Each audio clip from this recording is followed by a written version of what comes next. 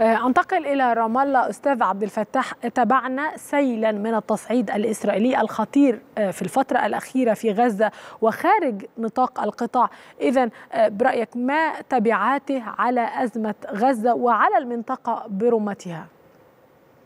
مساء الخير لك ولضيفيك وللمشاهدين الكرام. يعني نحن نتبع هذا الجنون الذي تمارسه حكومة ودولة الاحتلال هم يوفرون كل أسباب توسيع مساحة الصراع والحرب ولا يريدون حربا شاملة. هم يتحدثون أننا نريد الوصول إلى صفقة لتبادل الأسرى بينما يصر نتنياهو على الإبقاء على عدوانه على القطاع وعلى احتلاله الشامل لقطاع غزة. وبالتالي نحن نحكم على أفعال هذا الاحتلال على الأرض كلها تشير إلى أنهم ماضون في عدوانهم على الشعب الفلسطيني وماضون في ذلك المخطط الصهيوني الاستعماري الكبير الذي يمتد إلى ما بعد حدود فلسطين وهو ما كنا ما كنا نقوله من البدايات. يعني نتنياهو يشكل خطرا كبيرا على المنطقة هو لا يعادي الشعب الفلسطيني ومشروع الدولة الفلسطينية وإنما أطماعهم ومشروعهم يمتد إلى ما هو أبعد من ذلك.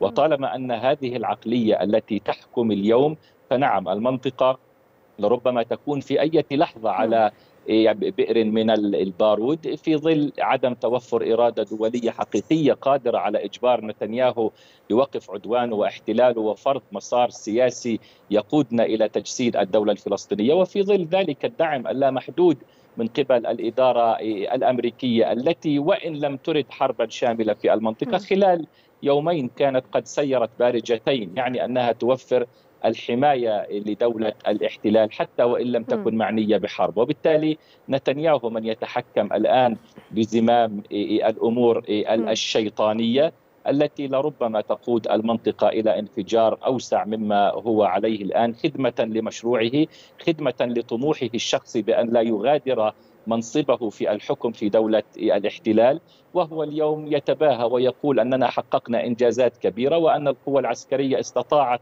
أن تحقق إنجازاتها، نحن اغتلنا عدد من قيادات حماس في الصف الأول على الصعيد السياسي وعلى الصعيد العسكري، ها نحن اليوم نسيطر ونحكم قبضتنا على قطاع غزة وبالتالي نحن من يجب أن يفرض شروطه سواء فيما يتعلق بالصفقة صحيح. أو فيما يتعلق بالعدوان مع دول الجوار في المنطقة. صحيح.